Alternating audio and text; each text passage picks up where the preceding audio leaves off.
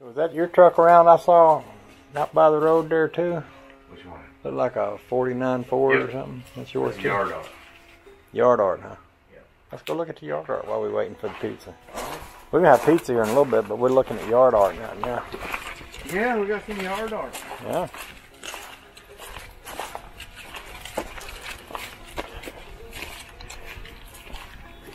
And I like your bread van too. First time when you brought that home, I thought, oh, that's just honking. Yeah, I've been using Yeah. I used to know a fellow that put a parts door in one of them and used to drive it out to the racetrack. I know a guy's got one that's longer than that, and that's easy. And that Cool race car. he did pretty good uh, selling parts at the racetrack Friday and Saturday night. That's just about the kind of truck I had that 430 Lincoln engine in when I was a teenager.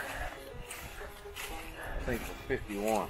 Mine was a 51. Is this 51? I think so. Uh-huh. There you go. Well, I know that one of these with stock suspension will go 160 miles an hour on the interstate and only run off both sides of it at the same time.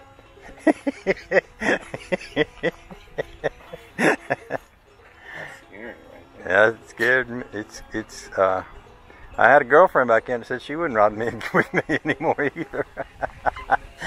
yeah, it's kind of in my history there. When I was younger, I, I don't do that kind of thing anymore. Ain't much left of her. But Yeah. Oh, but she's a beauty.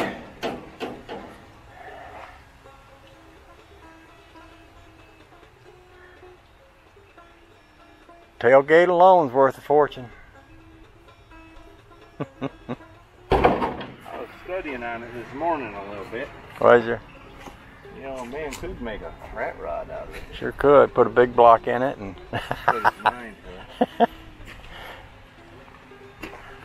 Or something.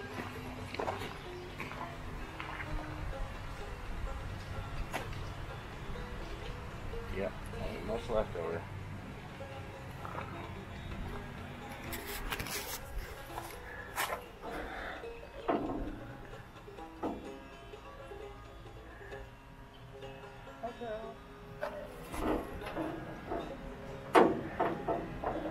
Hey there. Hello. Good to meet ya. Good to meet you too. Yeah, she's paying me back. You see that? Uh, how about that? I'm gonna cut the camera off so you don't have to be on the camera. I just wanted to say hi to you on camera and then we'll stop this. Did you ever get to using your uh, torch for welding? No, probably that video you saw me is the only time I've used it. And I tell you what else, uh, I can't remember if them lines came with it or if I bought them separately, but they've already dry rotted. Really? Yeah. And I think it might. I can't remember if uh, Torch came with the lines. I know I had to get the bottles and everything, or if I bought the, you know, the line separate. But I looked at it the other day. and I thought, wow, that looks like all crunched up potato chips. I don't know if I want to fire it off or not, you know. But Huh. Mine did not come with. I just used what I had. that's probably what I need to do because I had some old ones in there, about 50 years old. They look pretty good. A lot of, a lot I of know stuff. the ones. I know the ones I got are probably 25 years old at least. A lot of this new stuff you buy just ain't up to par, you know. No, it's junk. You better off go use old stuff. Lots of times. I bought something the other day, and uh, I- and I pulled it out after about a year, and it was fell apart. I can't remember what it was. Though.